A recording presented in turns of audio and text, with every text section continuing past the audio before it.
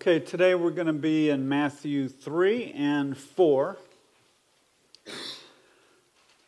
It's been 18 years since that incident in the temple, and it's been about six months since Jesus started hearing the reports about his cousin John preaching a powerful message of repentance and baptizing his converts down at the Jordan River.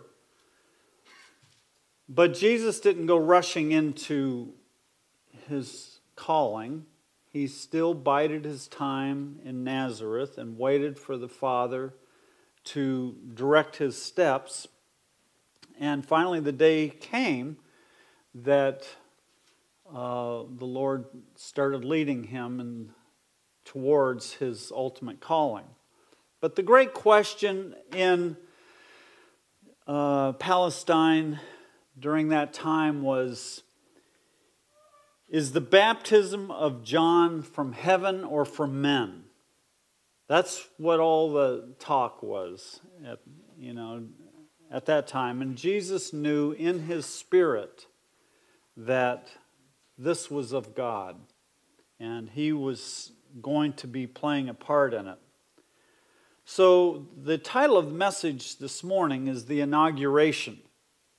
And when we think about inauguration, for us Americans, we think about the enormous to do event in Washington, D.C., that happens every four years.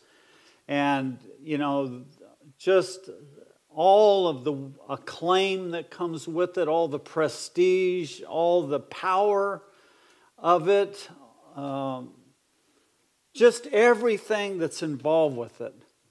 Now, here is the King of the universe, the King of heaven, coming to be inaugurated into his new office of Messiah.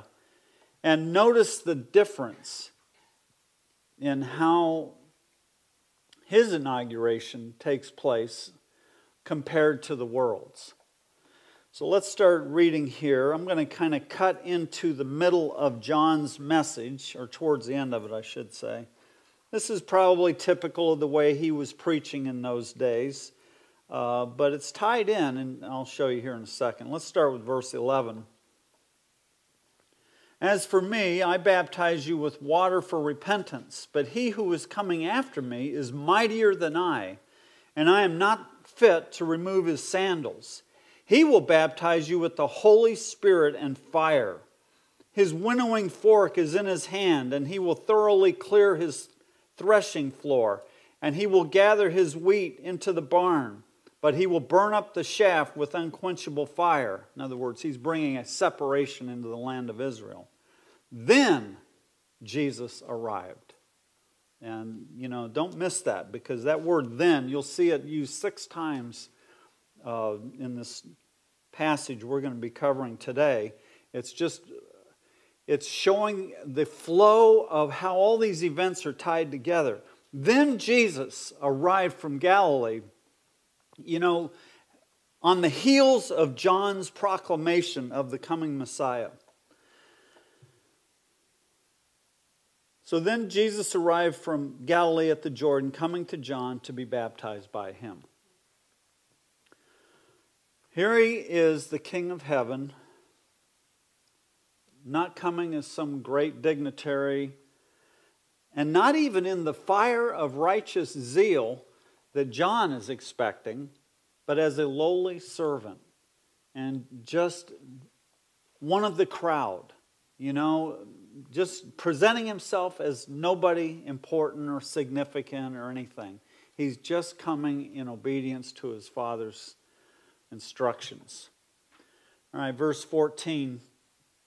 But John tried to prevent him, saying, I have need to be baptized by you. This is someone who's aware of his sinful nature. He lives in sight of what a failure he is. He understands his humanity and his need for the Savior. John sees that, it's clear to him. I have need to be baptized by you, and by you, and do you come to me?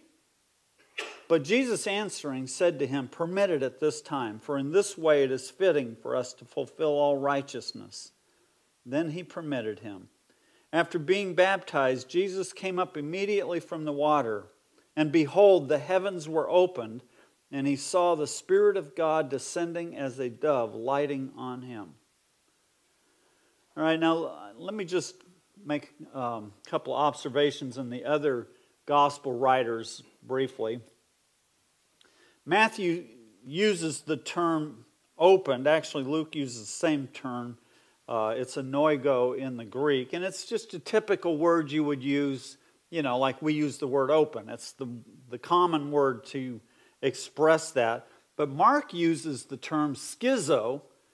And by the way, you understand that Mark was heavily influenced by Peter when he wrote his uh, epistle, just like Luke was heavily influenced by Paul. Uh, you could almost say, call the book of Mark the book of Peter, really, the Gospel of Peter. But anyway, he uses this more dramatic term, schizo. It's the same word that's used to describe the, the ripping of the veil when Jesus was hanging on the cross. So, in other words, what he's saying is that when this happened, God tore asunder the heavens to permit His Holy Spirit to come upon His Son and to possess Him totally and to fill Him for this great work He had before Him. It was a very dramatic moment, really. And Luke says and that this occurred, and while he was praying, heaven was open. So in the midst of this whole baptism experience, Jesus is uh, communicating with his Father. You know, there's some kind of a communication going on between them. And, uh, you know, we don't know exactly what he was praying, but I'm assuming he was praying that the Lord would empower him to be able to fulfill this uh, tremendous responsibility that he was facing. John, in his gospel, would later say this in uh, chapter 1, verses 32 to 34. He said, I have seen the Spirit descending as a dove out of heaven, and he remained upon him. I did not recognize him, but he who sent me to baptize in water said to me, He upon whom you see the Spirit descending and remaining upon him, this is the one who baptizes in the Holy Spirit. I myself have seen and have testified that this is the Son of God. So that was John's uh, great testimony to, you know, the Jewish people. And it, it's also fulfillment of a prophecy in Isaiah 11 2. The Spirit of the Lord will rest on him, the Spirit of wisdom and understanding now think about Jesus, his life, and the way he interacted with people. The spirit of wisdom and understanding, the spirit of counsel and strength, the spirit of knowledge and the fear of the Lord. You know, and wow, he perfectly fulfilled uh, all those, you know, whatever you want to call those aspects of um, wisdom or whatever. Okay, in verse 17. And behold, a voice out of the heavens said, This is my beloved Son, to, in whom I am well pleased. So, after 400 years, God breaks his silence with his people and he speaks from heaven and he declares that this man, Jesus of Nazareth, is his son, his um, personal representative there to his people. And he'll say the same thing a couple years later in the Transfiguration. You know, he makes almost the exact same statement then. We'll get to that later. But one thing I'll just notice in passing is that this is one of the first, maybe the first time in the New Testament that we see all three of the members of the Trinity involved in one incident. You have Jesus being baptized, being inaugurated into his office of Messiah. You have the Father affirming him from heaven, and you have the Holy Spirit in, empowering him to accomplish the work that's set before him. All right, I want to read a couple of comments uh, before we move on. Farrar said this There was something in the sinless beauty of his ways, something in the solemn majesty of his aspect, which at once overawed and captivated the soul of John. To others, he was the uncompromising prophet. Kings he could confront with rebuke, Pharisees he could unmask with indignation. But before this presence, all his lofty bearing falls. Before the purity of sinless life, the wild prophet of the desert becomes like a submissive and timid child. He has baptized many, has in some sense seen through men of all kinds, but no one like this had as yet come before him. And I understand that a little bit because, you know, years of dealing with sexual addicts, and you just you know, you develop a discernment for what people are in and just, you know, the kinds of things that's going on inside of them, all their um, self life. You just, you know, years of that just gives you a discernment for it. And so I'm sure John had that kind of discernment. It, it comes from living a godly life also, you know, and so John could see that when all these people would stand in front of him one after another. You know, he just could get the sense about them. But I also know what it's like to come into the presence of someone who's really walking with God. And just, I mean, it's not Jesus, of course, and you're not feeling like you're going to fall down and worship him like John could have easily done. But you do get a sense of, wow, this is someone that I can respect. This is someone who's really walking with the Lord and has something in the Lord that's real. Edersheim says this The baptism was the last act of his private life. And emerging from its waters in prayer, he learned when his business was to commence and how it would be done. That one outstanding thought, then, I must be about my father's business, which had been the principle of his Nazareth life, had come to full ripeness when he knew that the cry, quote, the kingdom of heaven is at hand, was from God. The first great question was now answered. His father's business was the kingdom of heaven. It only remained for him to, quote, be about it. And in this determination, he went to submit to its initiatory rite of baptism.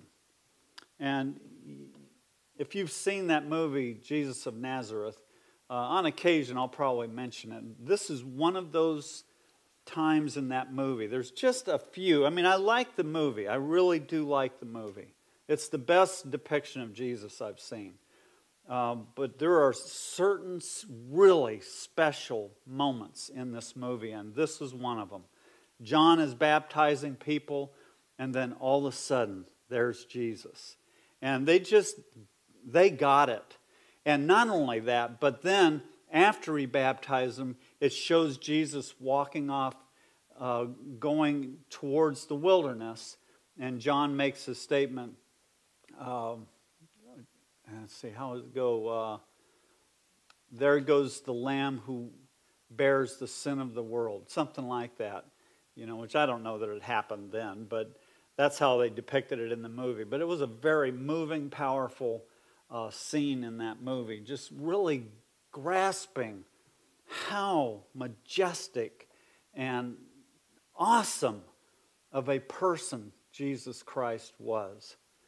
All right, now, what we're going to notice as we open up chapter 4 is the first word uh, there.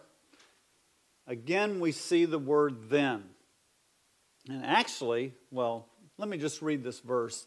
Then Jesus was led up by the Spirit into the wilderness to be tempted by the devil. Let me read it in Mark 1 12 and 13, and also, um, I'll get to Luke. Immediately is how Mark says it. Again, a more dramatic term. And you think about Peter, and he's, he's just that kind of a guy. He probably preached like this, you know, just had that extra umph in his statements and so on. Immediately, the Spirit impelled him. Matthew says led, Mark says impelled, you know, driven. To do what? To go into the wilderness. And he was in the wilderness 40 days being tempted by Satan, and he was with the wild beasts. And then Luke 4 1 says, Jesus, full of the Holy Spirit, returned from the Jordan and was led around by the Spirit in the wilderness for 40 days, being tempted by the devil. So you see these three different writers and how they express the same thing a little bit differently. You get a slightly different sight of it with each writer.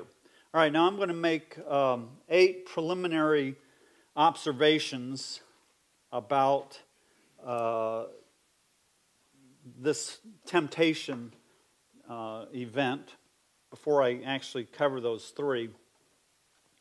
Number one is that he was immediately directed to go on a 40 day fast. So, no sooner has he been inaugurated into this new office, and again, I can't help but contrast it with President Obama or any president who, you know, is inaugurated into office and there's feasts and there's all this tremendous celebration and all of that. But when Jesus was inaugurated, the first thing he's led to do is go without food out in a sparse, desolate land by himself completely for 40 days. You know, you just, man, can you see the difference in character from what the world presents as, as someone noble and what God's kingdom presents? Secondly, is the Holy Spirit's um, involvement in this. The Holy Spirit com- uh, drove him to do it, led him into this situation. What? The Holy Spirit sent Jesus to go face the devil? To be put in a position to face all kinds of temptation? Yeah, the Holy Spirit did that. It's part of the ways of God that He leads us into situations, sometimes knowing we are going to fail. It's the mysterious ways of God. And I'm telling you, just bow your knee before Him and just say, Lord, some things are too great for me to comprehend. I don't understand why. Sometimes I have to face the things I have to face, but I bow before you in humble submission and say, Even so, Lord, I know you know what's best and what's right. And the third thing is the location where this all transpires out in this desolate wasteland.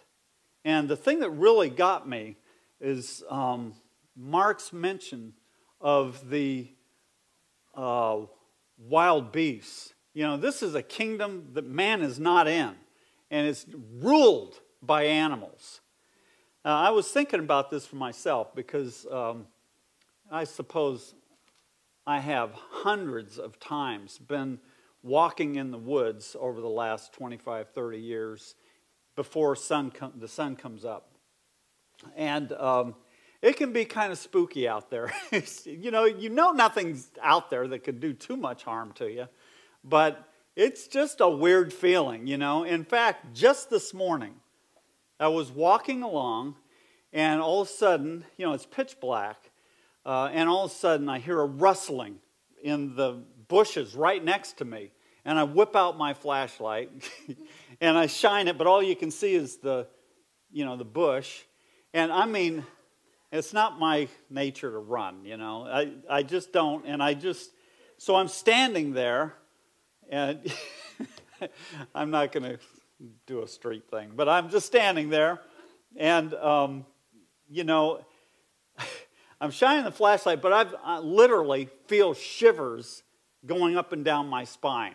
It's something weird when you don't know what's in those bushes. I didn't know what it. I still don't know what it was because I couldn't see.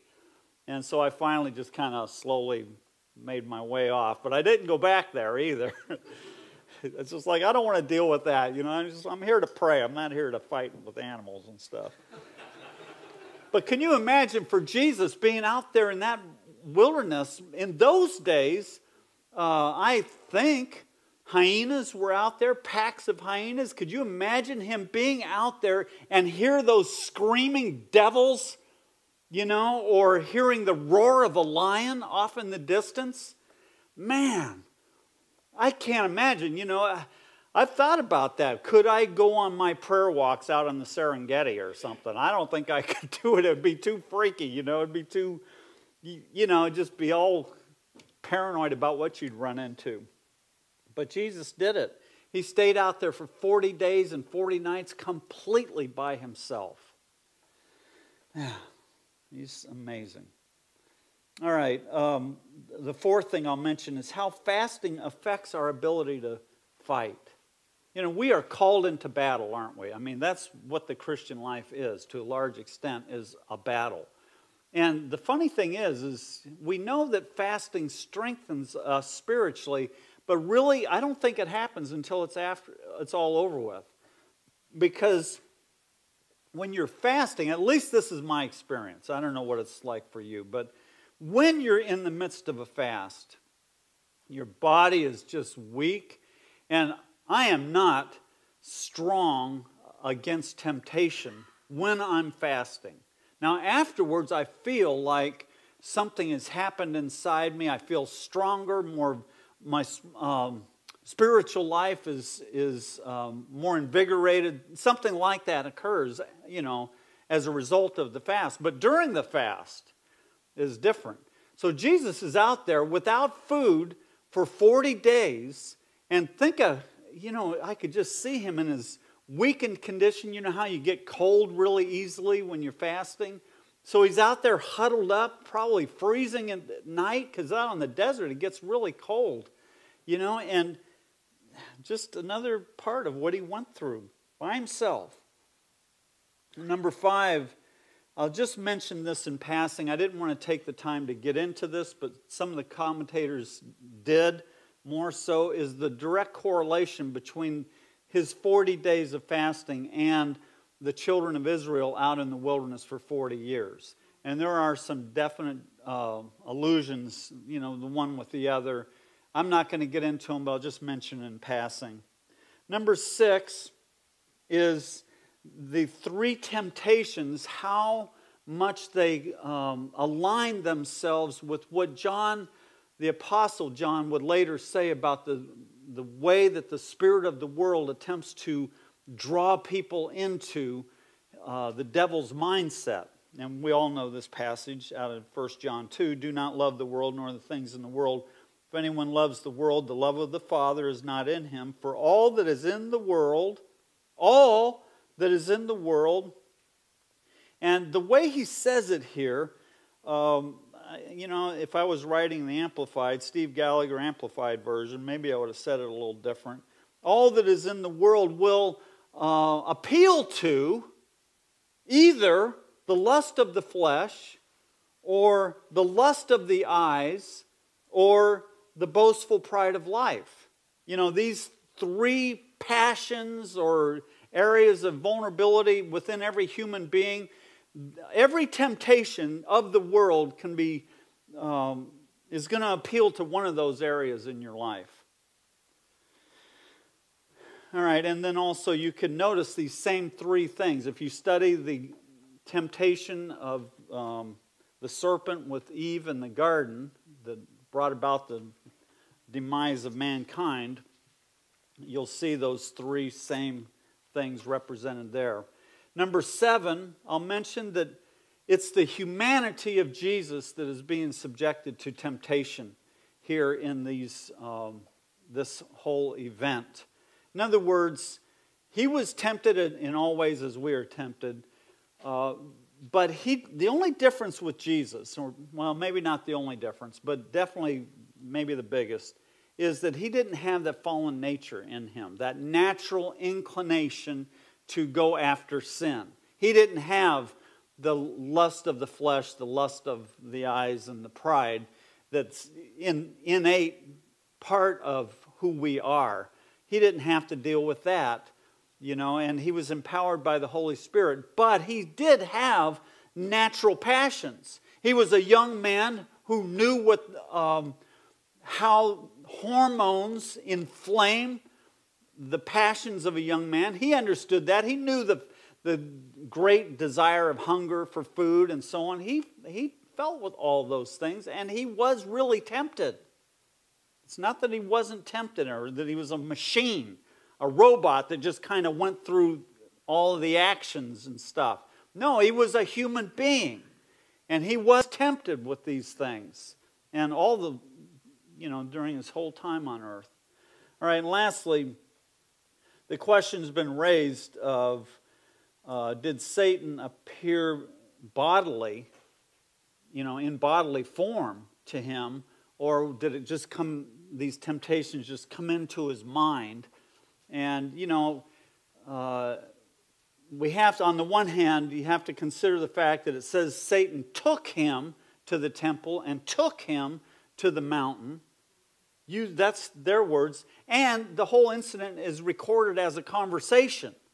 You know, so on the one hand, it certainly looks like, well, Satan actually came in some kind of bodily form and presented himself and made these statements or these temptations. But on the other hand, the biblical expositor really presents a strong case um, that Satan uh, came spiritually and invisibly into his mind and presented these things. And the way he explained it is that Jesus has just been baptized, initiated into his new office. He's out there on the wilderness for 40 days, and uh, you know, he's contemplating what he's going to be doing with this new office. He's thinking about all that's involved and so on. But you know, you guys know what it's like when you first come into ministry, you have a lot of self doubt and you're struggling with, well, you know, am I really ready for this? Am I, can I handle this? And just all those kinds of things. And he presented it like the enemy was coming to Jesus with these strong inward impulses to handle things differently than God would have him handle them. Um, you know, and, and as he said, you know, it says that he was tempted in all ways as we are tempted. Well, Satan doesn't come bodily to us. The enemy comes to us in our minds and just presents these thoughts he puts in our minds. So, but, I mean, I can't get away from the way the story lays out. To me, it just looks like it's very clear that something very, you know, um, demonstrative happened. But I do believe that probably preceding this and after this, in the next three and a half years of his ministry time, that when the enemy came to him and did come to him, it was through people or it was through inward impulses and so on. So this is 40 days. It says that, um, Mark or Luke says that during that whole 40 days he's being tempted. So I think that probably it was more like those inward temptations leading up to this, and then this was kind of like the finale. Satan comes right in front of him and just presents these three temptations. That's just my take on it. I don't know if that's true. But let me, um, let me read a couple of quotes here that are both interesting in their own way. Edersheim says Moses fasted in the middle, Elijah at the end, Jesus at the beginning of his ministry. Moses fasted in the presence of God, Elijah alone, Jesus assaulted by the devil. Moses had been called up by God. Elijah had gone forth in the bitterness of his own spirit. Jesus was driven by the Spirit. Moses failed after his 40 days fast. When in indignation he cast the temples of the law from him. Elijah failed before his 40 days fast. Jesus was assailed for 40 days and endured the trial. Moses was angry against Israel. Elijah despaired of Israel. Jesus overcame for Israel. So it's kind of like what I was saying, uh, wasn't it last week? When I was saying comparing Jesus to Moses, you can't compare the two, and so on. Biblical expositors talking about the fact that this isn't the only time Jesus was tempted. Let me read this quote Our Lord was all his life exposed to the assaults of the tempter, which seem indeed to have increased in violence as he approached the end of his life. Why then is this attack singled out for special record? The reason seems obvious. It marks the beginning of the life work of the Messiah. In his quiet home at Nazareth, Jesus must have had the ordinary temptations to which youth is subject. That was the time of quiet preparation for the great campaign. Now, the war must begin. He must address himself to the mighty undertaking of destroying the works of the devil. The great adversary, therefore, wisely endeavors to mar it at the outset by a deliberately planned series of assaults directed against all the vulnerable points of Jesus' human nature. From this time onward, our life, our Lord's whole life was to be a warfare not against the rage of wicked men only, but against the wiles of the unseen adversary, whose opposition must have been as bitter and relentless as that of his representatives in flesh and blood. You know, and that is, man, that is, that really captures Jesus' three and a half years of ministry. Just relentless, constant warfare. Most of it completely unseen, even by the disciples. The disciples are pretty much out of it. They were pretty much just out of, out of it, just unaware of the reality of the great battle that Jesus was involved in. You know, and he's nurturing them and caring for them because they're spiritual infants. He's just, he understands and he's trying to help them and so on, but no one really got it, what Jesus went through. All right, let's look at these three temptations. Uh, start here with verse 2. And after he had fasted 40 days and 40 nights, he then became hungry. Well, that's not, we know that's not true. I mean, not like that. I think what Matthew is meaning to say is that the hunger reached a crisis point. Because uh, if I understand correctly, you can go 40 days without food, but then you start literally dying from starvation at that point. So I think that what he's saying is that the hunger increased to the point of it being uh, a crisis. So, anyway, I don't mean to say the Word of God is not true. I got to be very careful with the way I say things. Uh, but I'm just trying to, you know, breathe a little more clarity into what he's saying. And the tempter came and said to him, If you are the Son of God, command that these stones become bread. But he answered and said, It is written, Man shall not live on bread alone, but on every word that proceeds out of the mouth of God. All right, and then let me read Mark and Luke. Uh, Mark 1.13 says, I've already mentioned this, uh, he was in the wilderness 40 days being tempted by Satan. All right, so this is just kind of the culmination of it all. Um, and Luke says basically the same thing that he was being tempted that whole time. All right, on this first temptation, I'm just going to read these quotes because they really capture the whole thing. And we were kind of running out of time, so I need to get moving along here. Farrar says this The first temptation was an appeal to the appetites an impulse given to that lower nature which man shares with all the animal creation. Man has higher principles of life than material sustenance. He who thinks that we live by bread alone will make the securing of bread the chief object of his life. will determine to have it at whatever cost, will be at once miserable and rebellious if even for a time he be deprived of it. But he who knows that man does not live by bread alone will, when he has done his duty, trust God to provide all things needful for his body and will seek with more earnest endeavor the bread from heaven.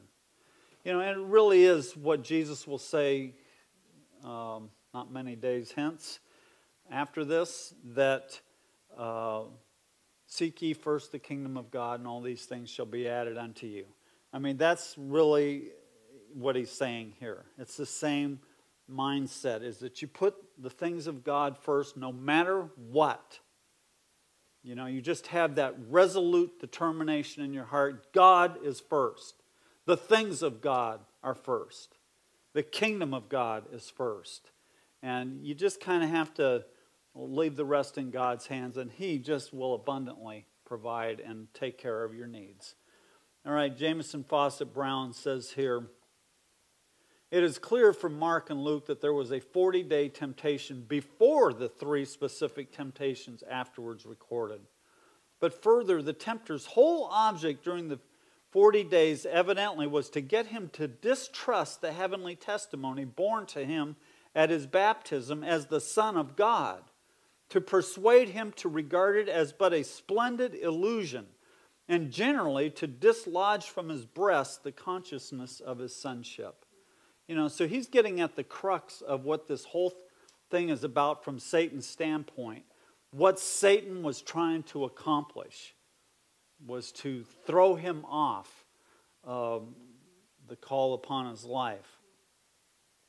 And Edersheim says this The essence of his last three great temptations resolved themselves into the one question of absolute submission to the will of God. If he submitted to it, it must be suffering. Helpless, hopeless suffering to the bitter end in the agonies of the cross. As a malefactor, denounced, betrayed, rejected by his people, alone, in very God forsakenness. This is what he's accepting by resisting these temptations. Let me continue here. He is weary with the contest faint with hunger, alone in the wilderness.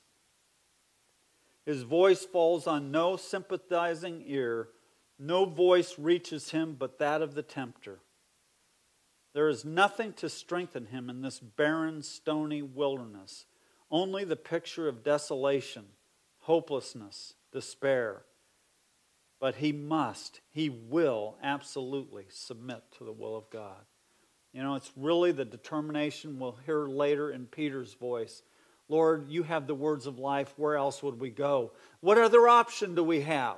Yeah, going this path is hard at times, but what other option is there? To go the way of the world? You know, to live for, in self indulgence and live for pleasure and live for the things of a temporal life? Is that is there really any possibility of going down that path? I can't imagine it. I cannot imagine it. But you know, when he's mentioning here about no voice reaching him but that of the tempter, and I've said it before and I'll say it again that the day is going to come that we're going to be scattered. And what you have, you're going to have to fight on your own. You know, you're not going to have be surrounded with godly people who are going to encourage you in the battle. You know, very well could come a time you're sitting in a prison cell by yourself, and the only people you're going to hear from are those who hate God. But don't worry, don't despair, because the Spirit of God indwells you, your you know being, and He will be there with you, and He'll give you the words to say, and He'll take you through. So don't let that bother you. Okay, the second temptation, verse 5.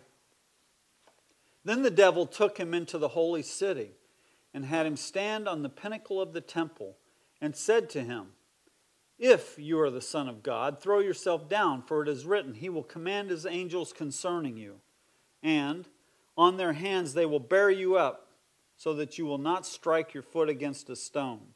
Jesus said to him, On the other hand, it is written, You shall not put the Lord your God to the test. All right, this comes out of um, Satan's words, come out of Psalm 91. But obedience is implied in that psalm. You know, all the way through that psalm, it's the one who loves the Lord who's being described there. You can't just do your own thing and expect and demand of God to protect you and cover you. But that's the message that Satan wants us to have. You shall not surely die. Right? You can do your own will, and God will cover you. You know, that sweet, syrupy, lying voice of the enemy. And that's what um, the Lord was facing there and what we face. I like what one of these old time writers said. He says, But what is this I see? Satan himself with a Bible under his arm and a text in his mouth? Doubtless the tempter, having felt the power of God's word in the former temptation, was eager to try the effect of it from his own mouth. You know, and that's, wow, that's just quite a thing to think about Satan with the Bible. But he does use the Bible. You know, where do you think all the strife comes from in the church? Maybe I'll get to that. Yeah, we'll get to that in a minute. But it is Satan at work using verses and twisting them out of uh, proportion or out of the context or the real meaning of them or emphasizing some certain statements and de emphasizing, just in the middle of it, corrupting it and making it into something it's not. Satan's all over the church. He just is. Uh, you know, it's sad, but he is. Anyway, the temptation here that Jesus is facing is to seize the opportunity, to launch out on his own, to move in self will and trust God to cover him. That's really what uh, Satan's appealing to here. You know, I mean, think about the logic. Satan always has a certain kind of worldly logic tied into his temptations. In this case, wouldn't it advance his work as the Messiah to, you know, begin with a, a dramatic miracle right in front of the whole religious world of Israel? Think of how that would advance God's kingdom on earth. You know, and that's what's uh, involved here. What, what Satan is trying to appeal to in Jesus is he knows that Jesus has a zeal to accomplish God's work. And this is something that I have fallen prey to in some kinds of ways over the years is um, outrunning the Lord and not waiting on him to open doors and you know and so on being too quick to run out and just trying to accomplish the mission that God gave me to uh, do. Anyway, let me read what Spurgeon says. The second temptation is a cunning one. He is persuaded rather to believe too much than too little. He is not now to take care of himself, but recklessly to presume and trust his Father's promise beyond its meaning. Satan borrowed our Lord's weapon and said, It is written. But he did not use the word, the sword, lawfully. He was not in the nature, it was not in the nature of the false fiend to quote correctly. You know, and that's exactly what I'm saying, how the enemy will, will use Scripture. How many times I have seen it. Men who come into the program completely corrupted by sin. Nothing really in their lives that they could point to to say, I'm walking with the Lord. All it is is a pretense, a fault, their whole lie. I mean, their whole life is a lie. But they know the great doctrinal issues of the day. And they'll argue with you till, you know, doomsday that they know and that they're right and so on. Where does that come from if it isn't the enemy?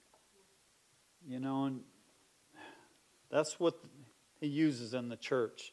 Let me read what Farrar says. There was nothing vulgar, nothing selfish, nothing sensuous in this temptation. It was an appeal not to natural appetites, but to perverted spiritual instincts. Does not the history of denominational battles show us that thousands who could not sink into the slough of sensuality have been dashed into headlong ruin from the pinnacle of spiritual pride? And man, have I ever seen that.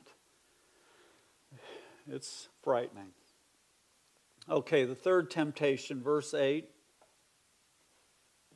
Again, the devil took him to a very high mountain and showed him all the kingdoms of the world and their glory. And he said to him, All these things I will give you if you fall down and worship me. Then Jesus said to him, Go, Satan, for it is written, You shall worship the Lord your God and serve him only. All right, so the scene changes from the religious atmosphere of Jerusalem to the pagan world and all the glorious, majestic kingdoms, you know, and so on, and um, of the world.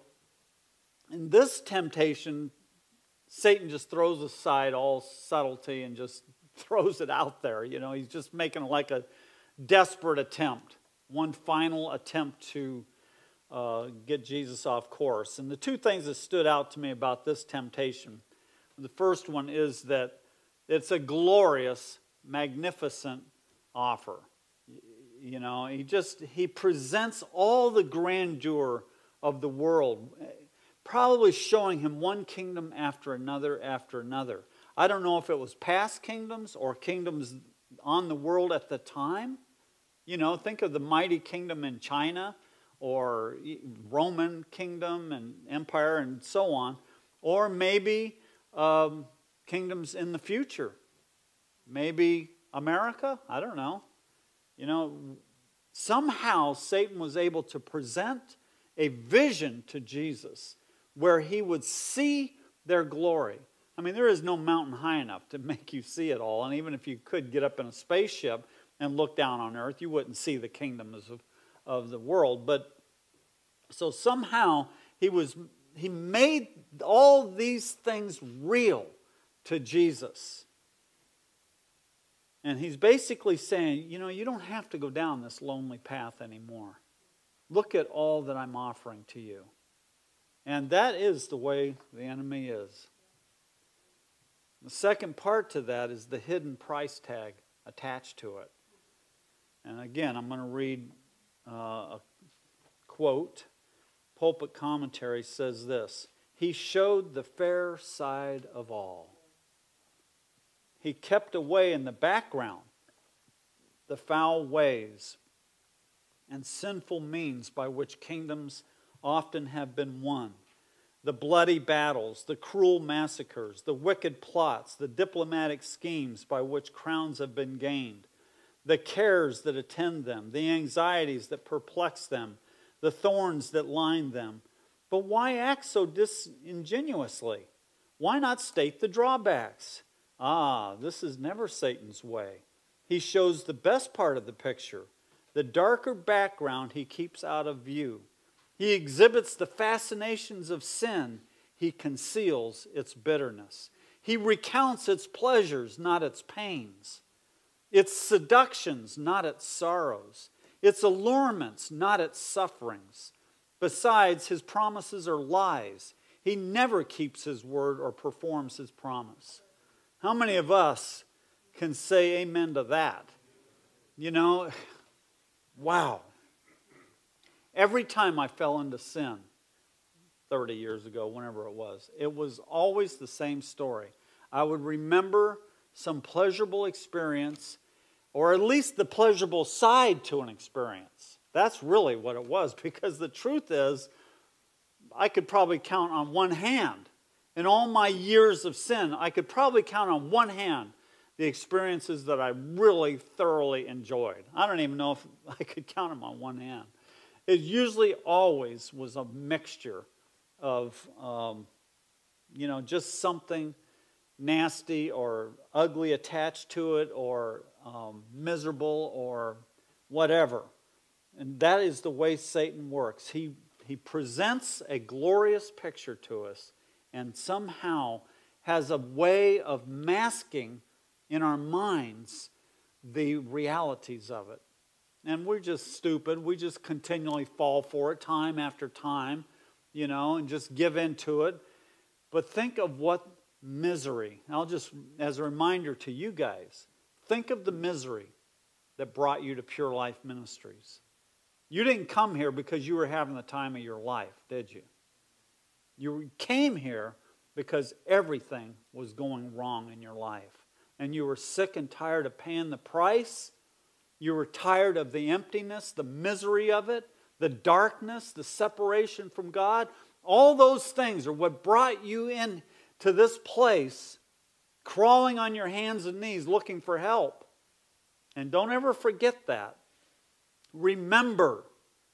Remember. Those are one of the things you need to remember. Remember the misery of sin.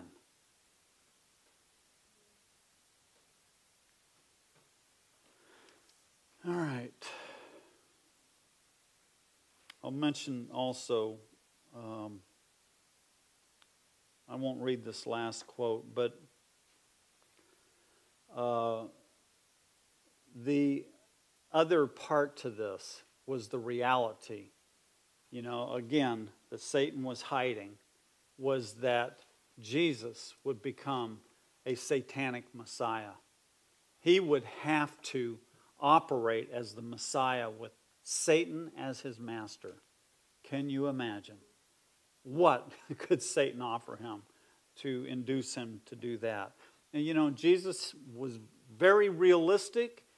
He understood the spiritual kingdom, and that was why he, you know, had an extra strength inside of him to resist all these temptations.